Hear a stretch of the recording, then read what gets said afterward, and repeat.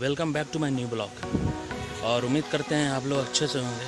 अच्छे से रहिए क्योंकि हम अब ख़राब होने वाले हैं। बहुत ख़राब। बर्दाश्त नहीं होगा आपको।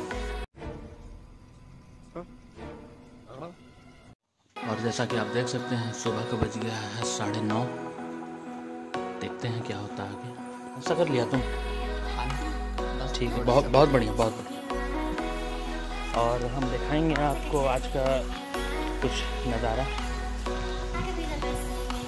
तो हर्षित हाँ तो कहाँ जाना चाहेगा? शहर की ओर कि जंगल की ओर? शहर की ओर। नहीं चलो तुमको जंगल दिखाते हैं। ठीक है। ठीक है। और ये कुछ जंगल है लेकिन ऐसा जंगल है घना जंगल। ये बड़ी अच्छी बात कही आप। और हर्षित तुम स्कूल गया? ना छुट्टी। और नहाया धोया पढ़ा? हाँ। ऐसे तो नहीं होता है? और जहाँ पे हम अभी बैठे हैं वो घर पुराना है, लेकिन जो नज़ारा है ना, बिल्कुल नया। एकदम बेहतरीन। तो हम आपको बता दें कि आज शाम के वक्त हम लोग का ट्रेन है। देखिए कहाँ जाते हैं हम लोग। आपको मालूम चल ही जाएगा।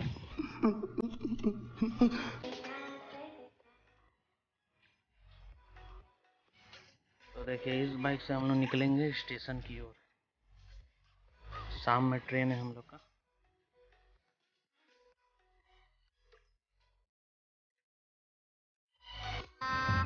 गजब बेचती है।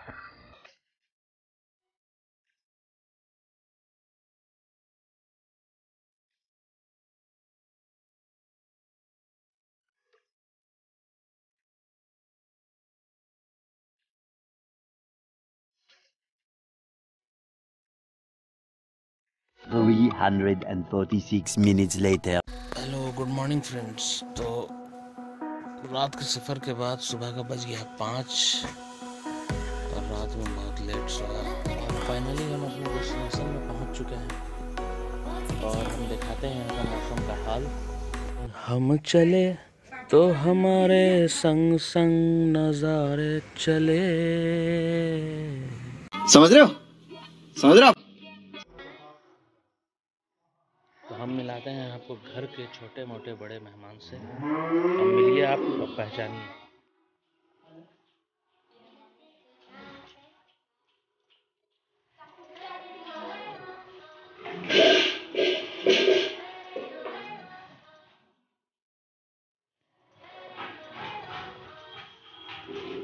पूरा मिला के सुबह का सिर्फ़ सोलह किलो होता है दूध। नहीं? सोलह से ज़्यादा? है देखिए सोलह से ज़्यादा है? ये सिर्फ़ सोलह है। अच्छा बड़ा वाला डेक्ची का सिर्फ़ सोलह के जी देख का का और ये देखिए बाल्टी वाला सात या आठ। और ये देखिए पूरा घर हुआ। और उधर भी पूरा है। घर से निकल के ही इधर चल जाइएगा तो आपको डाल्टनगंज एक घंटा और इधर चल जाइएगा। तो नेतरहाट दो अढ़ाई घंटा का रास्ता है। ये बड़ी अच्छी बात कही आप। और देखिए यहाँ घर में तरह तरह का जंगली जानवर आपको देखने को मिलेगा। सब चीज़ यहाँ रखा गया है जंगल को देखते हुए। देखिए प्याज काटते काटते यहाँ वक्त नहीं कट रहा।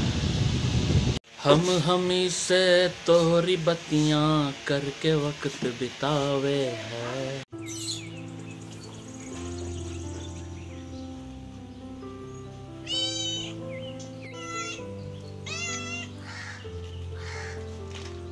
तो मिलते हैं अब हम आपको नहा धोवा के। यहाँ दोस्तों फ़र्स्ट क्लास नहाने धोने के बाद अब हम हो जाते हैं तैयार ठीक है? तो फाइनली हो गए हैं हम तैयार तो अब निकलते हैं मार्केट की ओर। तो उम्मीद करते हैं आप लोगों को ये ब्लॉग अच्छा लगा होगा।